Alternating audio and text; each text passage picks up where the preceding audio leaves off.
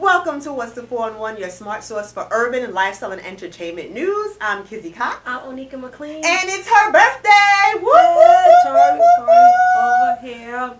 So we turning up. We turning up, but What we gonna talk about glitter? don't we don't want to talk about glitter, but we want to remember glitter. Okay, my cat died on my birthday, guys. Doesn't that suck? It, it does. Okay, so it, it does. So we have to drink We need in to order to. drink. We need to drink. We need to drink. look, I'm shit. If you don't do spill this All right, good wine. sorry, sorry. You know how the alcohol be. All right. All right. Cheers, cheers. to glitter into life, into your birthday, and blessings, and many more. and for cats dying on No. your birthday. Who does that? Like, no. what is No, we're not. We're not cheering to that. No. Okay, In memory, in loving memory. in loving memory of my cat that I have for 16 years. Like, look how long I had that cat. Like, now I'm gonna have to like get a boyfriend. Like, this is bullshit. Okay. I should start shaking like the people. I ain't even drinking. No, I ain't even drinking. Okay, you got it. You got to look me in the eye too. Okay. What you got on quick takes, girl? Go ahead. Okay. So Ah. we we we started the show off with some not so good news, but we're starting off the quick takes with some great news. So you know, we all love Tyler Perry, right? So TMZ, I mean, he I okay. I I love Tyler Do Perry. you? Why? I do because I think he does a lot of good for the community and has created a lot of opportunities for people of color in the movies that wouldn't have. Yeah, you're right. Okay, I'm, So- I mess with you, Tyler Perry. You know he coming for your edges. My And- edges are coming back. Let me tell you. Look. They're, they gonna go. It's the BB Judy. Uh, the real BB Judy, the miracle drops. Like it is really okay. Go ahead, Tyler Perry. Yes, Tyler Perry. We digress. So TMZ is reporting that Tyler Perry actually dropped three hundred and fifty thousand dollars on a house in Georgia, and that's gave a baby mansion. listen for real. And he gave the listen. It wasn't for him. He actually gave the house to the ailing mother of LaShawn Pace. Now this is a gospel singer and an actress who worked alongside him in a play, all the way back in 1999. Is she alive, LaShawn? Yes, and and the mother. So it was for the mother, and it was the mother's dying wish to have a house that she could give on to her family. Oh, And so, she he- gets to keep that house and then and, and then Yeah. give it up. Oh, okay. Because I thought maybe you would just take it back. Okay. no, Tyler. I'm just not happy. Okay. Oh, that's so nice. That is a beautiful thing, and that's the kind of guy that Tyler Perry is. I've heard about other acts of generosity that he's done. So like go what? Tyler. Like what? Like what? Like one time, he said, like one of the actresses on one of his shows that he was working on, he said one time he just had like a like a little like contest. He was like, I want to give out a thousand dollars to everybody who does X, and it was like put a piece of paper in like a bowl or something like that, something very basic. And Mm. so, of course, everybody was like, "Let me put this in here." And you know what? He wound up giving out twenty five thousand dollars in just that one Oh, that's that nice. just in one fell swoop, just for no reason at all, just to give away. Little money. baby Oprah. You know, because that's what Oprah does. So, Yeah. unlike Tyler Perry and Oprah, right? Uh, on my little radar is Kanye and uh, Lil Wayne. oh, is it Ye now? Or is he calling Ye. Now? Ye, but that's that's that's the name of the album too. Ye, right? It's. Yeah, Jay. And uh and It's the Carter. Five. I listened to both of those albums. Amazing. Oh, you loved it. You, Yeah. lo- oh, I mean, no, no, I really loved the Carter Five. Like I, I, I listened to it like a, four times already. Twenty three tracks. It's ridiculous. He starts off. Lil Wayne starts off with his mom like crying. Were you doing the uproar challenge too? Yeah, it was Are you doing the uproar challenge with the shake, the Harlem Shake, and everything? No, I'm not. But I was really, You- really feeling this Carter Five. I'm really, and I was like, I need to know what Kanye is about to Oh. do, right? So I did the yay. It, it, it was Well- dope, but they they both talking a lot of demon stuff, like killing yourself, and I was gonna shoot myself. There was a lot going on in these two, Okay. these two albums. Well, I know. But I only if you know. have not downloaded it or streamed it, you guys really need to. I have not listened to either one, but I have heard the song, You, "The yeah. Where the Love Go." With a Five, love. yeah, five, four, three, two, I let one go. Yeah, I've heard that, Yeah, and I've seen the uproar challenge everywhere. It's everywhere. It's all over it- Instagram. It's a, why is everything a challenge? Because You know what you it's should just a challenge? song. Y'all need to challenge your credit score. Get your shit up. Get. Your, I mean, okay. but so wait. So but wait. Okay. Kanye was acting crazy. That's what I heard. He's always acting crazy. He was So- on SNL. So I saw him on. SNL. Oh, Everybody saw him on SNL, right? He was like dressed up like a, a water bottle. a. Perrier bottle. Yeah, I didn't get that. Okay. I don't get any of it. But you know what was crazy? When he left the show, well, actually, when he was still on the show, and he started going on this whole like "Make America Great Again" rant and how Trump is He you had know, on the best- and it, he just went in just on this Trump loving tirade. And then after, he actually tweeted out a picture with him with the hat. And here's what he tweeted, which got everybody up in arms. Everybody. All right. He Mhm. said, "This, meaning the hat, Mhm. represents good and America becoming whole again. We will no longer outsource to other countries. We build factories here in America and create jobs. We will provide jobs for all who are free from prisons as we abolish the 13th Amendment. Abolish the 13th. Message sent with love. Yes, the 13th Amendment that abolished slavery, he wants to get rid of that amendment. And so everybody was like, yo, Kanye, Maybe we know. should add the link, right? Maybe it's crazy. Like one person was like, who Michael Rapaport, he was like, when you say we, you're talking about Kendall and them, right? Because you're not speaking for anybody else up in here. that was one. And then Soledad O'Brien, you know, the journalist, Uh-huh. she was like, the 13th Amendment abolished slavery. Re-upping this from the last time at Ye is truly an idiot. Aw. Message sent with distaste for idiocy. They- and and they went they went for edge. Chris. Chris Rock recorded it. Chris Rock Right. He recorded recorded it. He was like, "Oh my god, I can't believe he's saying this." But Kanye was like, "They bullied me. They didn't want me to come out with my hat on." And and President Trump said, "Kanye is leading the charge." That's what he said. Of course, said, he, "Oh of my course he's going to support That- him because he loves crazy. everybody who you know strokes his ego. But Okay. the thing is, but thing is, wait, Kanye West then revealed he's off his meds again. Yeah, well, So well you know that he, you know that he's off his meds again. Okay, so now I'm just gonna go with Carter Five because Carter Five is already gonna be like she went right back to Carter Five. Yeah, forget because about I'm Kanye. Kanye because you know what, Weezy took like almost between four to six years to come out with this album because of his case against Okay. Cash Money with Right. Baby and all that stuff. He sued them for fifty-one million dollars and they settled for an undisclosed amount of money. But Weezy is the one who who uh, recognized um, who brought Nicki Minaj mm-hmm. and Drake. Right. So he made those boys a lot, a lot, a lot of money. Right. Well- so just having this this like debut album being so phenomenal, it's ridiculous. So big up Lil Wayne. All right. Big up This is a real Wayne. little Weezy fan right no, here. I mean obviously. you have he's singing with Nicki Minaj, Kendrick Lamar's on it. He has a Swizz Beatz. Uh, when I say it is like Well, that's where the- prolific, the challenge came from. please do it. Please do it because Right. download it, buy it, just support Lil Wayne. Do it for her birthday, y'all. Do it for her birthday. All right. Every so, time you say my birthday, I think about glitter. So okay. You know what? No. All right. So we're moving on from one artist to another. Mhm. You know, rapper Nelly, right? We talked about him a few few months ago, actually. It's You know, getting hot in mm. here. It was too hot. Okay, sorry, go ahead. Yeah. So Monique Greene, um, who filed a suit against Nelly, alleging that he forced her to have sex on a tour bus. Monique Greene and Nelly have come to a settlement. Um, but terms of the settlement have not been disclosed. I'ma but they have they've settled. I'm gonna do So- this. Beep, beep, beep, beep, beep. Ask me what that is. Beep, beep, I don't know if it was like his his career on life support. Uh uh know. It's the Brinks truck backing up because that's how much money she got. Trust me. What? Yeah. What? What? Are you kidding me? Okay, Speaking yeah. of money, whore. Uh, okay. Um. Speaking speaking of money, Stormy Daniels. Gee, turn the Stormy- lights off. Stormy Shady. Daniels. Stormy Daniels, right? So remember when she got arrested for working the strip club in Ohio? Yes. remember that? Yes, okay. do, so the police chief apologized to Stormy Daniels. Why? Uh, he said that she should not have been arrested Okay. and that he also requested that the FBI open up a public corruption uh, task force and, and do do a um, what do you call that thing? An, An investigation. investigation? Really? Yeah, an investigation.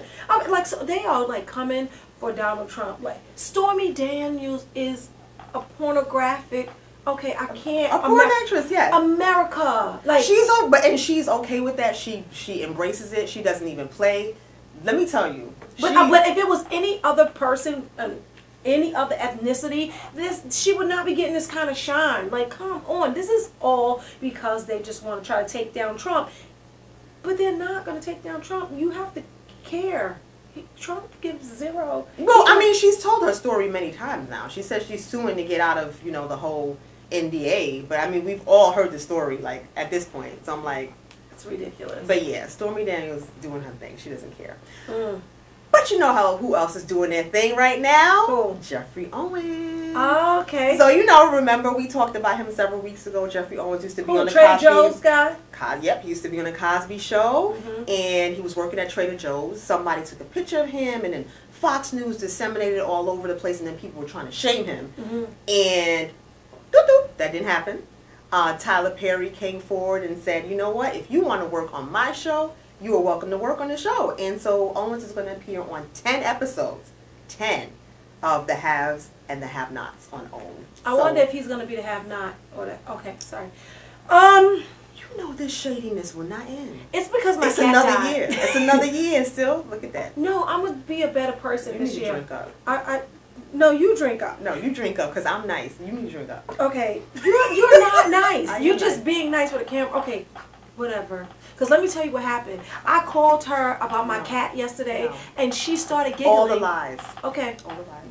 we'll act like this did not happen. She giggled. She giggled. She was like, because I was telling her about like all this stuff about Listen. the cat, and and What we're going to do is Is take keep a on. quick break. And in the meantime, make sure you subscribe to our YouTube channel, What's the 411 TV. And if you're listening to us on a podcast or the Alexa Flash Briefing, thank you so much. Now go out, tell a friend, and both of you subscribe. Yes. All right? Yes. We'll but be- anyway. We'll be right back with What's Poppin'. Stay tuned. Welcome back to What's the 411. Now we've got some bad news and some sad news. Bill Cosby, he was once America's dad. He is now in prison. He was sentenced to three to ten years in prison for um, aggravated indecent assault. You know, three counts of it, in fact. And uh, the judge agreed with the prosecutors that Cosby is a sexually violent predator. And yeah, so he's he's there right now. He's there right now. Can you believe it? I, I didn't even know if they were actually going to give him a sentence that long. And so a lot of people are saying that it might be too long and should they have done that for he's 81? I think so. But what do you think? Yeah, he's 81 years old. I just, I'm just, I'm just still taken aback that he got a sentence because what about Weinstein? What about the Weinstein is currently getting yeah. What about is President- starting? What about Trump? Like, you know what I'm trying to say? Oh, Like, see. it just it not not that I'm belittling like the Me Too movement because it's a new day. It is Mhm. really Absolutely. Really a new day. So all of that, you know, we're at a party at work and someone is inappropriate Mhm. and and it's okay or you got to try to ignore it. That is like not Yeah. the case anymore, which is so crazy because that's been as a woman in her 40s, that's been my norm. You just kind of like ignore it and try And to you don't duck and to do dodge. that. And You you, really have do don't that. have to do that, but it's just been something that has been just like an unspoken rule and now that is shifting and it's crazy, but in my mind like Bill Cosby, right, don't get confused with Heathcliff Huxtable and Bill Right. Cosby, right? Exactly. It is a completely different man. And like you said, Me Too movement, it's a new day. Remember Larry Nassar? Yeah, uh, yeah, he was the- a doctor for the you know U.S. gymnastics team. He got he got sentenced to hundreds of years, not like a hundred years, hundreds of years in so prison. So what about Matt Lauer? So- like because there's so many of them. What about Louis C.K.? What about uh, Yeah. Sorry, like it's so many. It's it's a lot of them. it's, a so many. So is everybody getting convicted? Like, because I know what's going to happen with Bill Cosby, and and I just like he's so old, but I know what's going to happen with Bill Cosby is they're going to sue him civilly. Like so many people that don't have don't meet the standard for the criminal intent, they're going to sue him civilly. Civilly, and Camille right. has stayed on. So like, what's going to happen I- financially for him? I, I don't I don't know. Um, but yeah, Like it's so to much to think about, but it's so many that like Matt Lauer, like, what shit? What about NBC? You know what I mean? Like it's so much. It's it's it's been it's been a Well, what- what status you- quo. what It's would- been the culture. So it's been a rape culture. say? What should happen? What should well what's gonna happen is people are gonna start going to jail for it and then people Well, are gonna get sued civilly i did not think that bill cosby was gonna go to jail i promise you Yeah, i did but- not think that i'm it's a like new day. what it is really a new new day day. And I think Harvey Weinstein is going to go to jail for a very long time too. Like those felony convictions can carry up to a life sentence. They're not playing. Mm. So we'll see what happens with Harvey Weinstein. But this is the reckoning. Bill Cosby is the first, I think, to fall in the wake of Me Too, and we're just going to have more and more. let me that. tell you something I, it was freaknik it was 1986 i just hope nobody come up saying no shit that i did You know what? Stop the madness. okay We need to stop.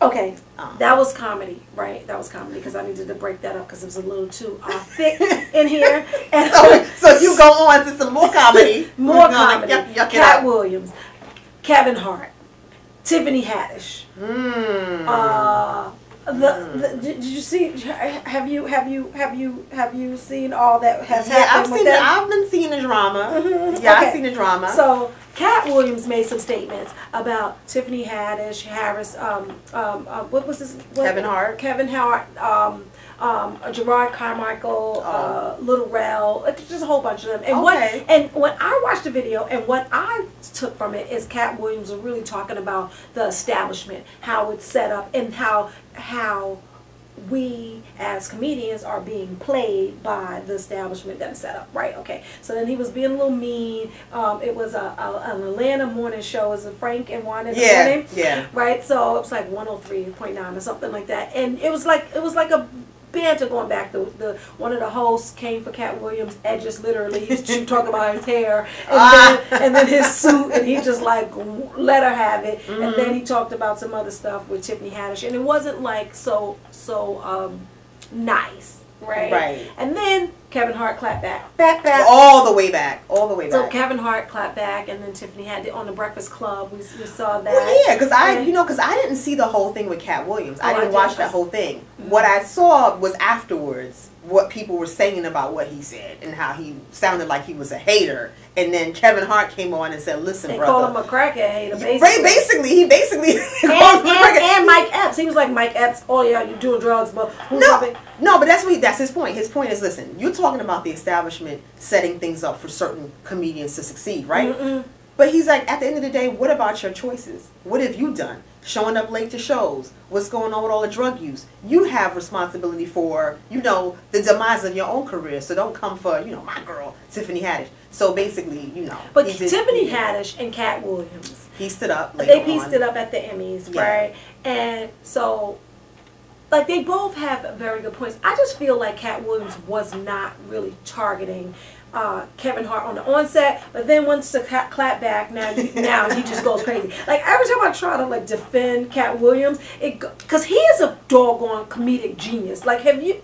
Katt Williams is so funny. It does not make sense. But like, then he starts saying the mean stuff. Like I'm like, Katt, don't say that. think, I'm know, trying to I root for the underdog, but Yeah, I, doesn't I think he's funnier than Kevin Hart. He's well. He's funnier than most comedians, and that was his thing. He said he said that Luenell needs to get a spot, and Adele Givens needs to get a chance, and some more. And all these comedians Right. that have been doing it for thirty plus years, like where's their opportunity? And he said that what what Hollywood is doing subliminally is saying as as long as you have like have sex with like a white guy, then we'll we'll bring you in. And then Tiffany Haddish was like, "What are you talking was about?" talking about that and then that happened. I But know. what happened in the movie? He she said something like Brad Pitt can get it right, and so He's reaching. But, he's reaching. but that's what he was talking about. I don't think that. Okay, so he's reaching out. He's he's reaching and he's trying hard, but he needs to like just but Kevin Hart get it together, do for some do some and, good shows. and heck, like they both be have consistent. very valid points. I think that uh, Katt Williams is very consistent. He's very very hard working, but I think that what's He's not very hardworking. He is. He does shows all over the country all Yo, the time. he's had some real run-ins though. Some real With the like law? group- like with the law and acting crazy and the crack. Listen, I don't. You think he on crack? he was on something. I don't know, but I do know that they're all all the He's a above are very very funny people, and I Right. just feel as if like listening to the banter back and forth Uh huh. taught me so many lessons, and it's about producing, about waiting for you know the big white media whomever to come in on this horse and save your day you shouldn't do that because what they were arguing about was who owned their specials like Okay. you know like it's it's really about owning your creative outlet like Okay. it just like prince says and everyone else says you Okay. know, don't wait for the record deal because if you wait for the record deal you're going to get not the lion's share of Mhm. your Well, that's, you know, in and that's what they were both kind of saying they were like who right and it, it, it was a I, I like that they were arguing because it's like just watching kings Okay. go back and forth and you can get the little you know, Okay. Well, you you felt like that you got something I. I felt that I got something for it. I, I- I, I know that people are looking at it like, oh, you know, they're just being big old babies or whatever. But Katt Williams holds the, um, Katt Williams is very, very funny. Uh, Kevin Hart holds the top spot. It just is what it is. It and is. they're just very different. One is crossover market, like, right. and one is, it's, it's, just, it's just like, I guess, what Redd Foxx would be, right? To, Okay. to, Yeah. um, who, el- who else is crossover, right? I'm, I'm not sure. I would have said Bill Cosby. You would have said that's Bill o- that's Cosby, over now. right? But right, but right, and what they say when you listen to comedians, they'll say like they're they're comedians Right. that are at the back of the club and they're like doing drugs and doing this, and then and then and there's comedians in the front of the club that are crossover, like it's so Dave Letterman, Okay. and and Bill Cosby and all of those people, and then it was like you know Well, listen. Richard Pryor, and because that is a thing, right? Right. Comedy it stems from pain. Right. Th- those those people are broken. Every they're all broken. I They're not pastors. Well, right. Well, this So- is why you're a comedian too. I'm You know, uh, yeah, I'm broken. you- Every, I think everyone is. I think that the last phase of anything is can laugh at it. Like, damn, I, Right. Are you I was laughing? I was stupid as hell. Well, I'm not laughing about glitter, Oh God. but and I'm not laughing about Bill Cosby. oh my God. And you know who else is not me laugh? laughing? You know who else not laughing? Brett Kavanaugh not laughing. He was appalled. Tell us about it. Tell us about it. Listen, we're more than appalled. Oh my God, piping hot tea, piping hot wine. But listen, Brett Kavanaugh came out there, guns blazing, slinging. I mean, he was Then he cried. practically foaming at the mouth at how angry. Wait. he cried. Did you see Harlem Nights when Arsenio Hall was like, "You shot my brother! You shot my brother!" Bah, bah, bah, bah! And he was crying. No, okay. Harlem Nights. Okay, sorry.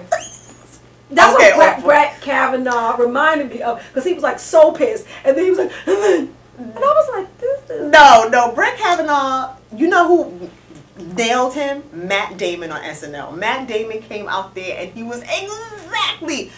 You know when comedy is good when you can't tell the difference between what actually happened and comedy. I was like, this is basically it. He came out there guns blazing. Um, yeah.